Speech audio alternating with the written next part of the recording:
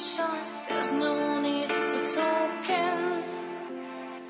Don't get tired for explaining